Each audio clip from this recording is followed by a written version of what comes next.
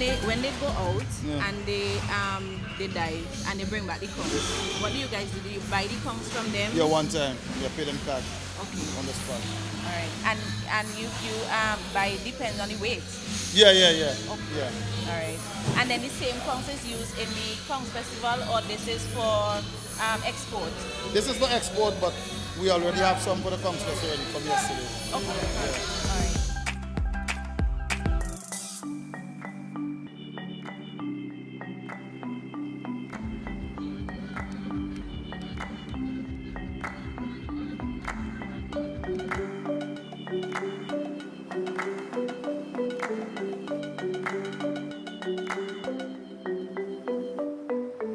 Right. So we are at Conch Fest in Union Island 2023 and this is Festival Day and we are sampling the conch dishes. We're here with Doris of Doris Catering and she's going to tell us what she has today for the patrons.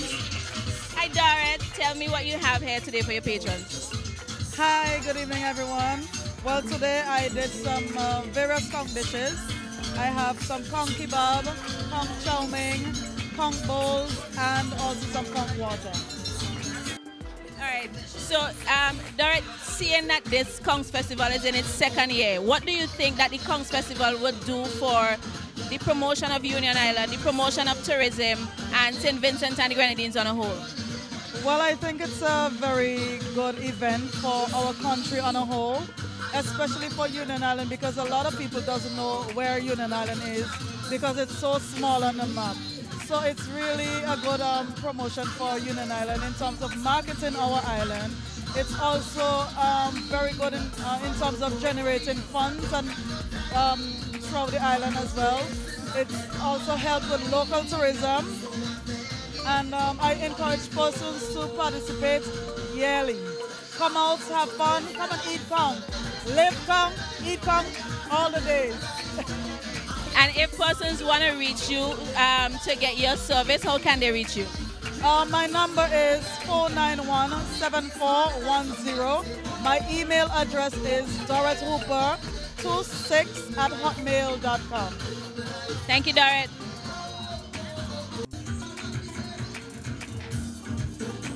Alright, so this is the kebab and this is the conch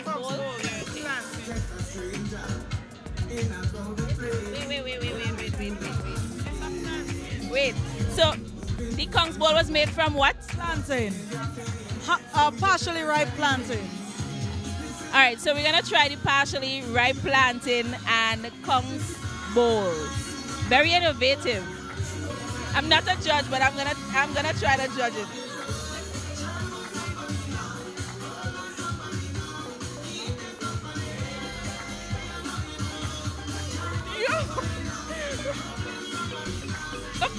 So listen, you have the sweetness of the plantain, and you have the, the seasoning, and you have the salt from the right? All right, guys, so now we're gonna try the kebabs, conch kebabs, everything conch today.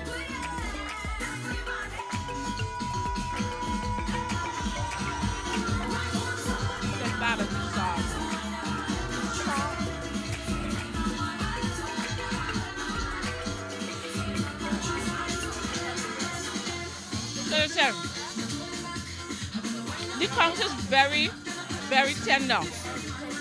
Maybe there's a new way for me to cook conch. Barbecue. This is very amazing. Listen, do not miss Conch Fest 2024. I am telling you, the food conch is something to look out for. Do not miss it.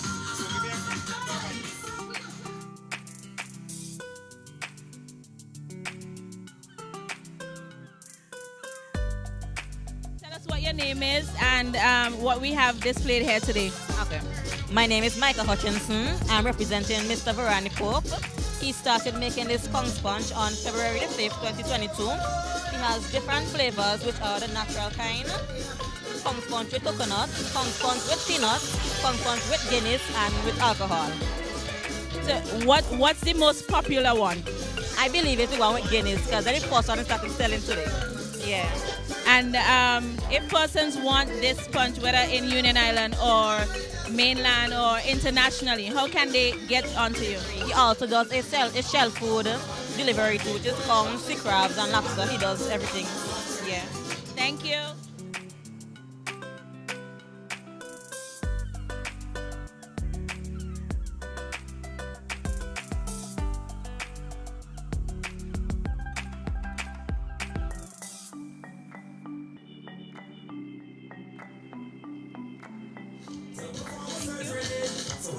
Right, guys. So I've never had a, a conch sponge before. This is my my first time trying this. So this is the the plain one. This doesn't have any alcohol or any additives to it. All right.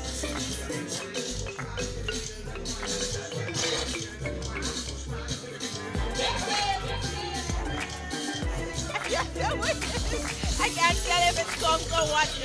Like, there's a play of flavors in your mouth. Like you're tasting the spices. Uh, I think I taste nutmeg and cinnamon. And like after you swallow, there's a hint of the conch, but it's not a very strong taste of conch. So you don't have to worry about that if you're not um, too savvy with the conch. But it's good.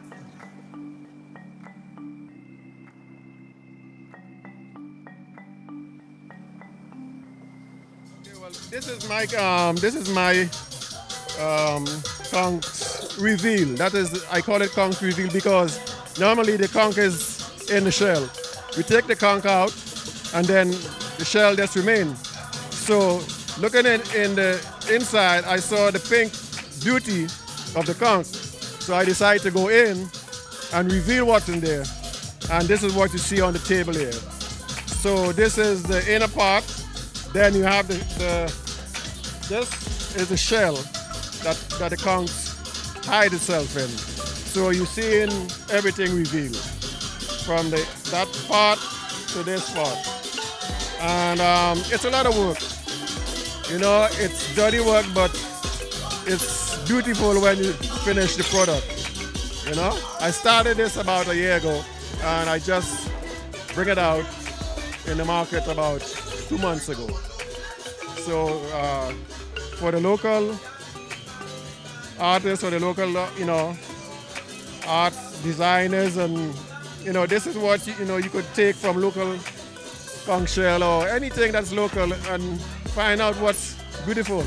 Just like we have beauty in us, but sometimes if we don't dig deep inside and bring it out, people would not see it.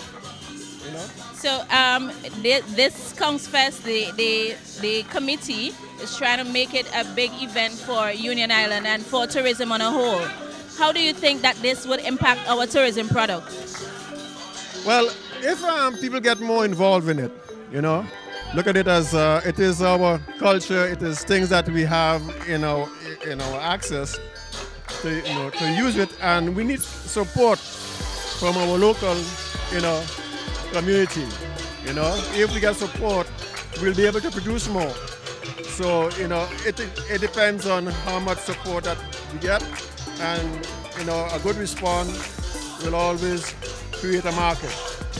And if persons are interested in getting one of your pieces, how can they contact you? Well, they can contact me by um, phone. My phone number is 646 353 2115. And that you could get me on uh, WhatsApp. I haven't established my, you know, my um, contact online as yet, but that you could catch, get me on my phone, WhatsApp. Well, thank you so much, David, and we wish you all the best. We're at Conch Fest 2023, as we said previously, and we're with a vendor who has made some interesting jewelry. And you would not believe what she used to make the jewelry. Tell us about the pieces that you've made. Well, all of our pieces are unique pieces, but they're made from conch shells. So no piece is exactly the same thing because it's however they fall when you are cutting them out. So Hold on, I'm gonna I'm gonna stop you there. They're all made from the conch shell. And these are not my work per se, but this my dad's work. So by extension, they are mine. Uh, But this is my dad, work. This is what he does now. And so he just cut them out. It's, I mean, it's a lot of work. So we have a lot of different pieces, even shapes of Union Island and different independent pendants and stuff like that. So you would notice that we use just the natural coloring and everything like that, doesn't add anything to them. So this is what we do now. And then there are some other pieces, but they're all made from conch shells, recycling, using back the conch shell, well, using the entire conch. uh, this is very unique because you see persons using the, the shell of the conch as uh, ornaments itself, the whole shell. Uh, we met a gentleman across um, there, David. He said that the he uses the inside of the shell, but you are using the entire shell to make um, these crafts, and I think it's very, very unique. All right. So if persons want to get you or your dad to get one of these pieces, how can we reach you? Easy to find George Samuel because everybody know him on the island. So it's George Samuel. You can call our house phone and that's 4588104. So it's easy to find us. You call the house number and anybody will be able to help you. Thank you very much. Well, thank you so much for talking to us and we wish you all the best. Continue making great pieces. Yes, thanks. Thank you very much.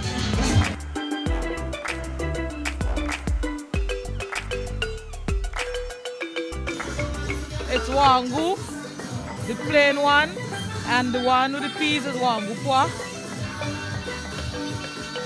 How long does it take to make the wangu? Just about an hour. Because you have to put the peas to boil and then put pumpkin.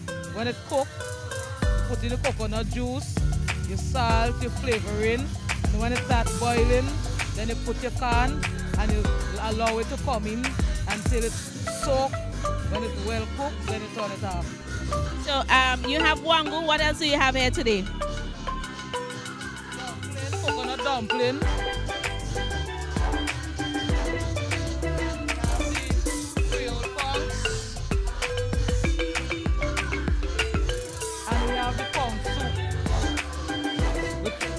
Of like the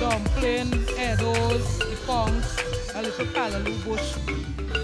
It's just for the conch fest today because the first we are coming out. But seeing that people like the food, we are planning to do it on a more regular basis.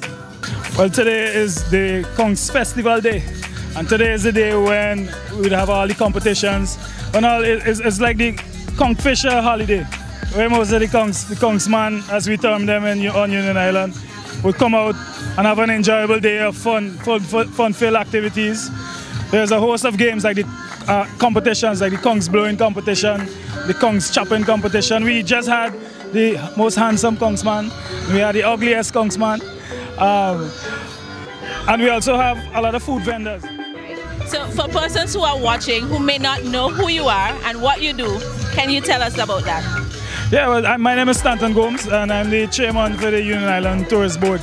The Tourist Board really um, overlooks all of the tourism affairs on the island. And right now we're in the process of putting together uh, a strategic plan, well, executing a strategic plan um, that would see more activities come to Union Island because we want to close the gap on the so-called dead season, which runs from like June all the way back to, to um, October. Um, because the current market, the current tourism market is a, is a yachting sector. So we're trying to focus on domestic tourism because the tourism authority does the international marketing. So we're focusing on domestic tourism, trying to get persons from the mainland to come down to see Union Island as a destination where they could come uh, and spend a week, spend a weekend and partake in all the stuff that we have to offer. Hiking, um, boating, the, the, culinary arts, um, culture, and everything else that you want to explore.